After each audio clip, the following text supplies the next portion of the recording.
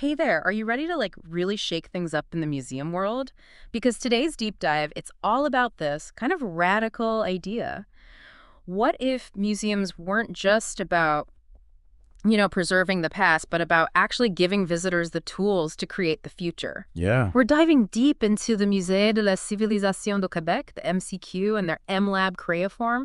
Yeah. It's like this cutting edge space, really rewriting the rules of visitor engagement. It really is fascinating to see how, like, some museums are really, like, approaching their roles so differently now. Yeah. It's almost like they're saying, hey, our collection, it isn't just for admiring from afar anymore.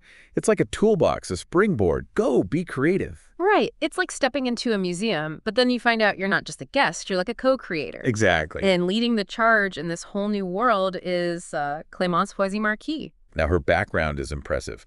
Narrative designer, museographer, content strategist. She's done it all Why? in the museum world. And her experience, like we see from her work at institutions like the MCQ, it gives her this, like, really valuable perspective Hmm. on integrating digital initiatives Yep. in a way that's not just trendy, but truly transformative. Okay, so let's talk about the MLab Creaform itself. Okay. Now, I have to admit, when I first heard Museum Lab, I pictured a computer lab, like with a few dusty microscopes, you know. Right. But this is something completely different, right? Oh, absolutely. Think of it more like, you know, when you fuse a traditional museum space and a high-tech fab lab, it's laser focused on digital creation and exploration. So it's the best of both worlds, artifacts and algorithms, all in the same place. What I find really interesting is the MCQ's partnership with Creaform. So tell me, what does an engineering firm bring to the museum? It's actually, it's brilliant. It's a brilliant strategic move by the museum.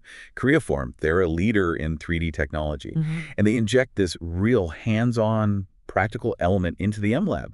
So instead of just, you know, passively observing cultural heritage, visitors are empowered to interact with it in a tangible way using cutting-edge tools. See, this is what I'm talking about. Forget staring at dusty relics behind velvet ropes. Right. The MLab is all about rolling up your sleeves, digitally speaking, and engaging with history on a whole new level. Exactly. It's a prime example of this movement in the museum world to just shatter those traditional barriers between the institution and the visitor. Hmm. They want people to feel like stakeholders, collaborators in the stories being told Yeah. within their walls. It makes perfect sense, right? Especially in our digital age. With information overload at our fingertips, museums need to offer something more immersive, more participatory, to truly stand out and resonate with visitors. Yeah, they're moving beyond simply being the keepers of knowledge. They're evolving into platforms for knowledge creation. Okay, so let's unpack some of the MLab's most intriguing initiatives. This is where it gets really exciting for me, because they're playing with this fantastic concept of remixing their digitized collections. Yeah, it's a truly innovative use of technology to reshape the relationship between museums and their audiences. Imagine this. You're in the museum and you're captivated by a specific artifact or a certain theme. So you go online, you go delve into their digitized collection, and you use those elements as building blocks for your own creative projects. It's like unlocking a treasure chest of history and culture and then getting to remix those treasures into something totally new. Exactly. So what kind of projects are they encouraging at the MLab? One of the things that makes the MCQ's approach so fascinating is their commitment to open access. Clémence Foisy-Marquis talks about how they make high-resolution images of their collection available under a Creative Commons license. Wow. That means anyone can use, adapt, even remix these images for their own purposes, as long as they give credit to the museum. Wow. So someone could create a digital collage inspired by an ancient mosaic. A musician could sample a historic speech for a new track. Even a fashion designer could draw inspiration from centuries-old garments. That's precisely the point. They're breathing new life into these collections, making them dynamic, making them relevant to the present moment. And who knows what unexpected creative sparks might ignite along the way. It's a brilliant way to bring the past to life. Not through static displays, but through active engagement and fresh interpretations. But it's not all digital at the MLab, is it? Right. Clémence also mentions this fascinating initiative called Le Musée Vivant, which incorporates 3D printing. Tell me more about that. Le Musée Vivant is a prime example of how the M Lab merges digital and physical experiences. They'll invite students to pick an artifact that speaks to them. And then, using 3D modeling software, they create a digital replica. The most exciting part, they actually get to print their models using the Lab's 3D printers. I'm already blown away by the possibilities. These students aren't just passively observing history, they're recreating it in a tangible form. Right. It's like next level learning by doing. Absolutely. And as they're going through this process, they gain a deeper understanding of the object, the object structure, the materials used, even the craftsmanship involved. They're connecting with history and technology all in a single powerful experience. I can only imagine the sense of pride and accomplishment those students must feel when they hold their 3D printed creation like a tangible link to the museum's collection. Yeah. It really does blur the lines between visitor and creator in such a profound way. You're right. And that idea, that blurring of lines, it's a recurring theme in discussions about the future of museums. It's about moving away from that traditional top-down approach, Mm. where the museum dictates the experience, Mm. and toward a more collaborative model where visitors have a voice, where they can actually shape the narrative. It's about empowering visitors, saying, this isn't just our history, it's your history too. Now go make something amazing with it. And that brings us to some broader questions Clémence Foisy-Marquis raises about this type of digital engagement. Is confining it to a lab setting enough? Or should this level of creative participation extend to the entire museum experience? Those are really thought-provoking questions. How do you effectively scale this kind of engagement? How do you make it a part of the visitor experience as a whole? That's the challenge, isn't it? And then there are also logistical hurdles. How do you document and preserve the digital creations? Born from these initiatives, the 3D models, the remixed images, the soundscapes, they become part of the museum's story too. It's fascinating because you're essentially creating an entirely new category of cultural artifacts, born digital, co-created, and constantly evolving. Right. It challenges our very definition of what belongs in a museum and how future generations will experience and interpret these evolving forms of cultural heritage. We're talking about navigating complex issues, digital preservation, intellectual property, and even the ethical considerations surrounding the remixing of cultural material. It's a whole new world for museums to navigate, but you can just sense the excitement in Clémence Foisy-Marquis' work as she explores these possibilities. Absolutely. And she poses a particularly provocative question in her writing. Should the entire museum become a laboratory? Now, that's a bold idea. It makes you wonder if some museums might resist relinquishing so much control, transforming their, you know, carefully curated spaces into what could feel like a free-for-all creative playground. And she addresses that concern with this compelling analogy. She envisions the museum as a kitchen, like a dynamic space where visitors can experiment with different ingredients, information, resources, cultural artifacts, and in the process, cook up something new and exciting. I love that analogy. It flips the script on how we interact with museums. Instead of passively consuming what's presented to us, we're invited to become active participants, chefs in our own right, adding our own flavor to the mix. Precisely. It's about recognizing that visitors bring their own unique experiences and perspectives to the table. And those perspectives, they enrich the museum's narrative in profound ways. It's about time, honestly. For far too long, museums have dictated what's important, how it should be interpreted, even how we as visitors should behave within their hallowed halls. Clémence Foisy-Marquis argues that this more open, participatory approach, it's a direct response to that outdated model. It's about dismantling those hierarchies, fostering dialogue, recognizing that knowledge creation, it thrives on collaboration. It reminds me of that old saying, tell me and I forget, teach me and I may remember, involve me and I learn. This is about taking that to the next level. Exactly. And it's not just about making museums more fun or engaging, though that's certainly a happy side effect. It's about equipping visitors with the critical thinking skills and digital literacy that they need to navigate an increasingly complex world. It's about giving them the tools to become active participants in shaping their world, not just passive consumers of culture. Precisely. However, it's important to acknowledge that even with such innovative approaches, there are always areas for improvement. Every experiment has its hiccups, right? What are some of the things that stood out to you as potential challenges or areas for growth? Even within the MLab's innovative framework. Clémence Foisy-Marquis raises some valid points about the accessibility of the MLab's digital resources. While they've done an excellent job of making those high-resolution images available online, accessing the full scope of their digital collection, it requires creating an account, which could be a barrier for some. That makes sense, especially when your goal is to encourage widespread engagement and participation. Any extra steps, no matter how small, could discourage some people from diving in. Exactly. And she also raises questions about the visibility of the projects created in the MLab. She suggests that showcasing those works more prominently, perhaps through online exhibitions or even physical displays within the museum, it would effectively demonstrate the power of visitor creativity and the learning that's happening within the lab's walls. It's about completing the loop, right? Showing visitors that their contributions are valued, that they're shaping the museum's narrative in a tangible way. Absolutely. And that ties into another point she makes about the preservation of these digital creations. As more museums embrace digital engagement and co-creation, they'll need to create robust strategies for documenting, archiving, and preserving these outputs for future generations. It's one thing to launch a website or host a workshop, but ensuring those digital traces remain accessible and meaningful for years to come, it's a whole other challenge. These are questions museums are grappling with right now. You're right, it requires a real shift in mindset.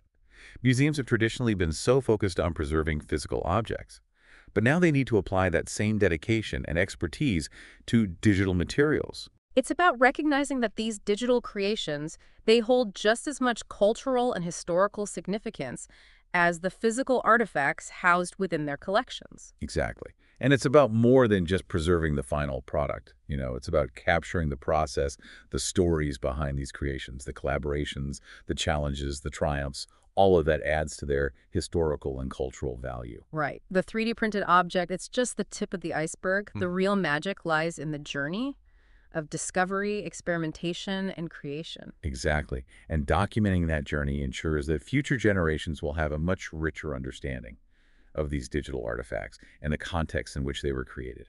Ultimately, that deeper understanding, those connections to the past, present, and future, are at the heart of what makes museums so vital. Precisely.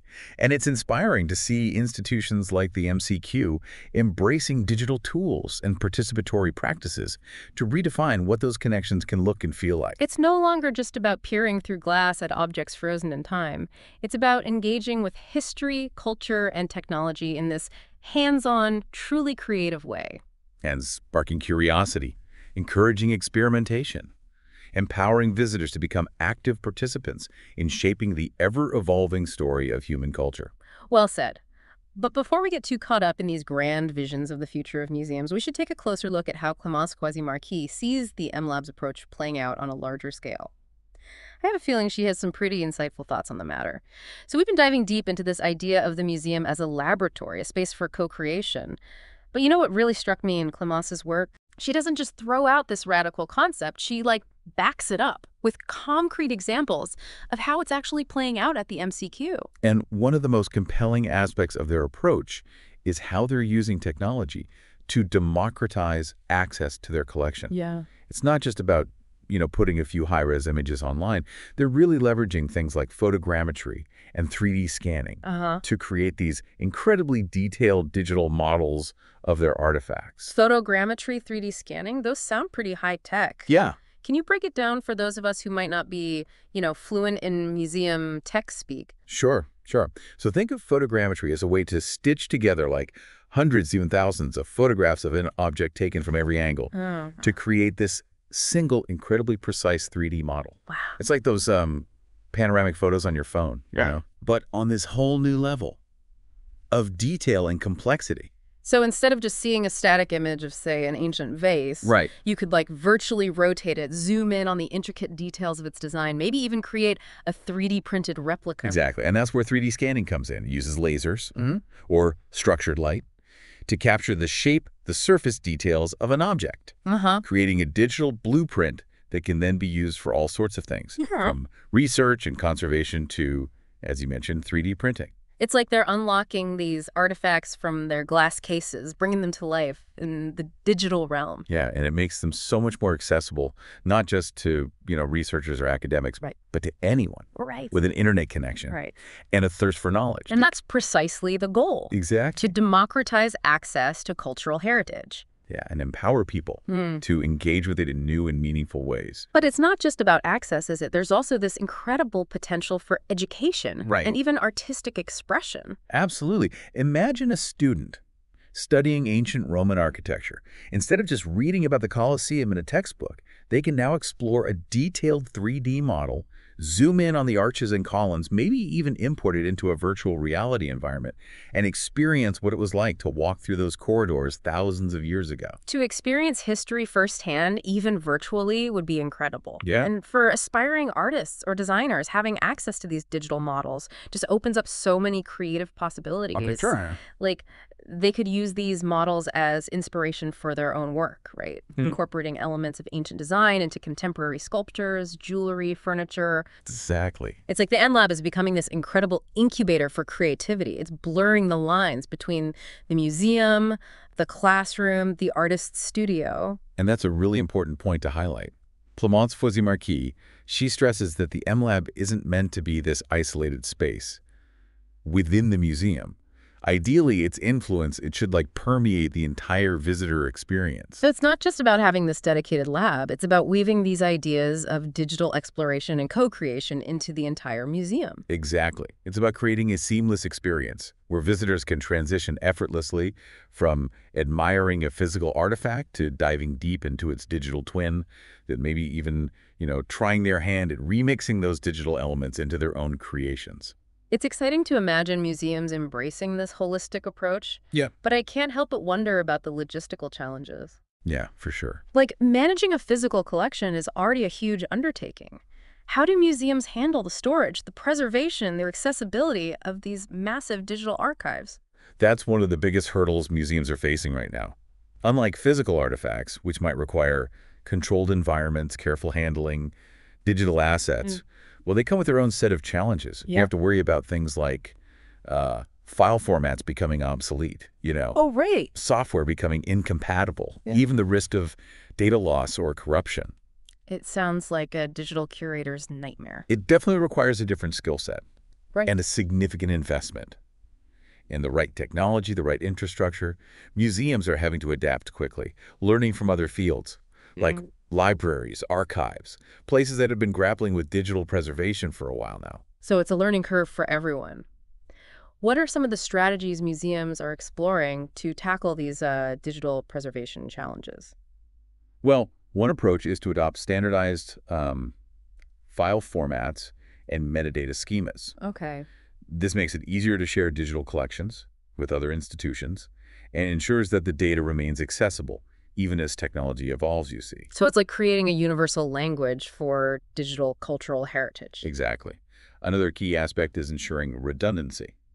They're not just saving those digital files on a single server tucked away in the museum's basement, right? Right. They're creating multiple backups, often stored in different geographical locations, to safeguard against data loss due to things like natural disasters or technical failures. It's like the digital equivalent of those ancient scrolls that were copied and distributed to different libraries to ensure their survival. That's a great analogy. And just like those ancient scribes, today's digital archivists are playing a vital role in preserving our cultural heritage for future generations. It's a huge responsibility. And it makes you realize that this shift toward digital engagement in museums, it isn't just about, you know, flashy technology or trendy buzzwords. yeah. It has real implications for how we understand, interpret, and preserve human history and culture. You hit the nail on the head. This isn't just about museums, like staying relevant in the digital age, you know. It's about ensuring that the stories we tell, the knowledge we share, the creative sparks we ignite, they continue to resonate and inspire long after we're gone. And as much as I'm fascinated by the uh, technological innovations happening at places like the MLab, I think it's that sense of responsibility, that commitment to the future of our shared cultural heritage that truly sets them apart. Absolutely. They're not just like embracing the possibilities of the digital age. They're approaching them with a sense of purpose, a deep understanding of the impact these tools can have on how we connect with the past, understand the present, and even shape the future. It's really inspiring to see, and I'm I'm eager to see how these ideas continue to evolve in the years to come. Speaking of the future, there's one more question from Clemence Foisy-Marquis' work that I wanted to circle back to. She asks, what if, instead of being preoccupied with preserving the past, museums became more focused on equipping visitors with the tools to shape the future? That's a powerful question. Yeah. And I think it really gets to the heart of what makes this whole discussion so fascinating. It challenges us to rethink the very purpose of museums in a world where technology is constantly evolving, blurring the lines between creator and consumer. It's almost like she's asking us to imagine museums, not just as repositories of the past, but as launchpads for future innovation. And I have to say, I'm intrigued. What are your thoughts on that? And how do you see places like the MLab contributing to that vision? That's a topic that deserves its own Uh-huh. deep dive. I know, right? But I can offer a few initial thoughts based on what we've discussed so far. I think I think Clemence is really onto something profound with this idea of shifting the focus from uh, preservation to empowerment. And that's an exciting thought as we move to the last part of our deep dive. You know, when I think about museums empowering visitors to like shape the future, it feels like a natural progression from everything we've been talking about. Yeah. If we're already, you know, blurring the lines between observer and creator, why not take it even further? Exactly. It's like Clemence Foisy Marquis is encouraging us to see museums not just as places to reflect on the past, but as springboards Uh-huh. for innovation, for tackling present challenges, for envisioning new possibilities. I'm really captivated by this idea. So what could that look like in practice? How do we go from like digitally remixing a Roman mosaic to say designing a more sustainable city or engineering a solution for clean water access? It's about recognizing the power of creative thinking. Right. of cross-disciplinary inspiration. So imagine you're walking through an exhibition on ancient irrigation techniques, Okay. and then you have the opportunity to participate in a workshop on using modern hydroponics to address food insecurity in urban environments. That's a fantastic example. It's about drawing those connections between the ingenuity of the past and the challenges of the present. Right. And then like giving visitors the tools and resources to experiment, collaborate, maybe even develop their own solutions. Precisely. And it's not just about technology, right? It's about fostering this mindset of curio- experimentation, creative problem solving. It's about giving visitors the skills to become active citizens in their communities, Exactly. empowered to make a difference. And I think that's where the true potential of this shift lies. Yeah. You know, it's not about turning every museum into like a tech incubator or a design lab, but about cultivating a space where people feel inspired, equipped, and empowered to take what they've learned and apply it to the world around them. It's about breaking down those walls between disciplines, between institutions and their communities, and saying, hey, we're all in this together. Let's use our collective knowledge, creativity, and ingenuity to build a better future. I love that. It's about moving beyond that traditional role of the museum as a like a passive repository of knowledge and embracing a more dynamic, a more engaged, and ultimately more impactful role in shaping the world we want to live in. It's a vision that feels both really exciting and essential, especially in these times of like rapid change of complex global challenges. As we wrap up our deep dive, I have to say I'm left with this renewed sense of hope and possibility for what museums can be. Me too. Me too.